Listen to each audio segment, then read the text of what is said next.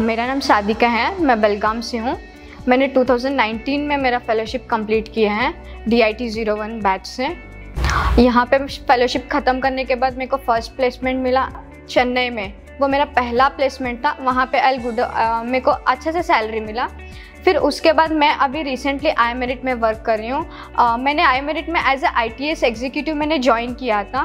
फिर one year के बाद एक आई जे पी इंटरव्यू मिला, जिससे मेरा प्रमोशन हुआ। मैं अभी आई मेरिट में एडमिन के पोजिशन में वर्क कर रही हूँ।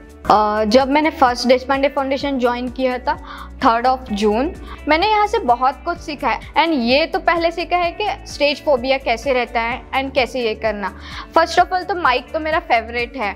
तो मैं उसको कैसे यूज़ करना? एंड मैंने देश पांडे में सभी इवेंट्स में पार्टिसिपेट किया है एंड सभी इवेंट्स में मैंने एंकरिंग किया है। जब से मैं फेलोशिप ख़त्म हुआ, तब से मैं आई नहीं थी देश पांडे फाउंडेशन एंड आज आके मेरे को बहुत अच्छा लग रहा है यहाँ से।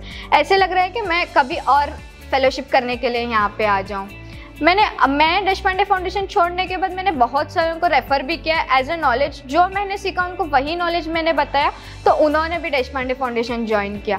मैंने कुछ अच्छी नॉलेज लेके यहाँ से बाहर गई हूँ। मेरा प्राउडेस्ट मोमेंट ये है कि जहाँ यहाँ पे एक कैंपस इंटरव्यू हुआ था एम्फेसिस वाला। उसमें सब लोगों ने इंटरव्यू दिया।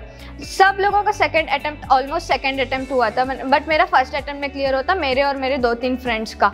फिर सभी इंटरव्यू सभी राउंड्स क्लियर होने के बाद पता चला कि मतलब स्टेज के पास सबको सर्टिफिकेट देने लगे। You got selected and one of my best friend also selected of same company so तभी मेरा ये बेस्ट मोमेंट था कि मेरे लाइफ का फ़र्स्ट जॉब मिला है मेरे को करके। फ़र्स्ट ऑफ़ ऑल मेरे फैमिली में चार लोग हैं, मैं पापा मम्मी और दीदी।